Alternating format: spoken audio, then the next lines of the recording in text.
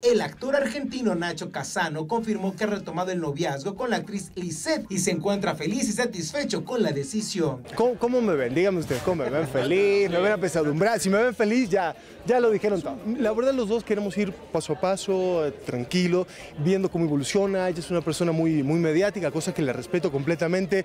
Ella, todas sus relaciones y su vida privada la, la ha volcado, híjole, si te pones a buscar un poco, ves desde el primer marido hasta esto y mil fotos de la hija, yo soy mucho más reservado. ¿Pero por qué decidieron darse una segunda oportunidad? Escuche usted. Pues yo creo que la historia no había terminado como tenía que terminar y, coincidencias de, la vida. La verdad es que los dos estamos contentos, pero insisto, estamos recomenzando, viendo y lo queremos llevar también paso a paso. Eh, apenas llevamos muy, muy poquito tiempo recomenzando como para decir, wow.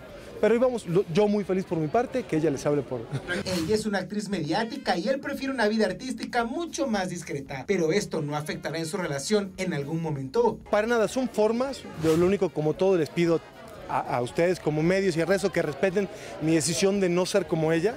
Así como si ella quiere agarrar y hablar, no tengo nada que negar ni nada ahí, pero yo no soy así. Eh, y, bueno, también un tema que entiendo, no es un tema de que la niega, le dijo, oye, a donde vayamos agarrados de la mano, yo feliz de la vida, no soy tan partícipe de que nuestra relación se pueda ver en redes sociales. Vivirlo contento, vivirlo feliz, pues no estarlo ahí mostrando y presumiendo. ¿Qué es lo que Lisette conocerá de Nacho en esta segunda vuelta amorosa? Escuche usted lo que nos confesó.